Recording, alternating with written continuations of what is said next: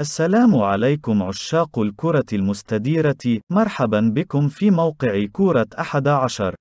أعلن نادي تشيلسي الإنجليزي في بيان رسمي اليوم الخميس تعاقده مع الدولي البلجيكي روميلو لوكاكو البالغ 28 عاما قادما من إنتر ميلان الإيطالي بعقد لمدة خمس مواسم حتى صيف 2026 وجاء في البيان عاد لوكاكو وهو واحد من أبرز المهاجمين في كرة القدم الأوروبية إلى النادي الذي كان يشجعه صغيرا ليكمل مهمة لم ينتهي منها بعد حيث سبق له اللعب لتشيلسي في الفترة بين 2011 و 2014 وأفاد الصحفي الإيطالي الشهير فابريزيو رومانو بأن لوكاكو انضم إلى تشيلسي من إنتر مقابل 115 مليون يورو وسيحصل على أجر سنوي يبلغ 12 مليون يورو إلى جانب الإضافات ويعود لوكاكو بالتالي إلى البلوز بعد عشر عشر أعوام من انضمامه إليه للمرة الأولى قادما حينها من أندرلخت البلجيكي وشارك لوكاكو في الفترة الأولى مع تشيلسي في 15 مباراة دون أن يسجل أي هدف ليرحل إلى إيفرتون عام 2014 ويعول تشيلسي على لوكاكو كثيرا في مساعدة الفريق على التتويج بالبريمير ليج هذا الموسم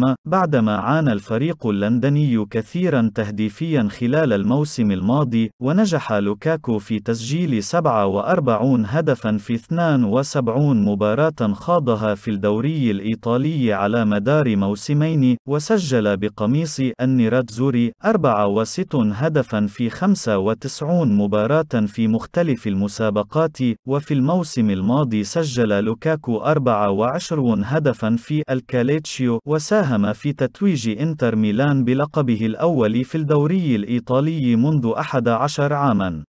وسيلعب لوكاكو مع المغربي حكيم زياش الذي بدأ الموسم بنجاح وسجل الهدف الوحيد في نهائي السوبر قبل أن يخرج مصابا في كتفه ومن المتوقع أن يجري زياش فحوصات اليوم لتحديد مدى خطورة الإصابة ومن المحتمل أن لا يشارك زياش ولوكاكو في أول مباراة لتشيلسي ضد كريستال بالاس السبت المقبل لحساب الجولة الأولى من الدوري الأنجليزي الممتاز.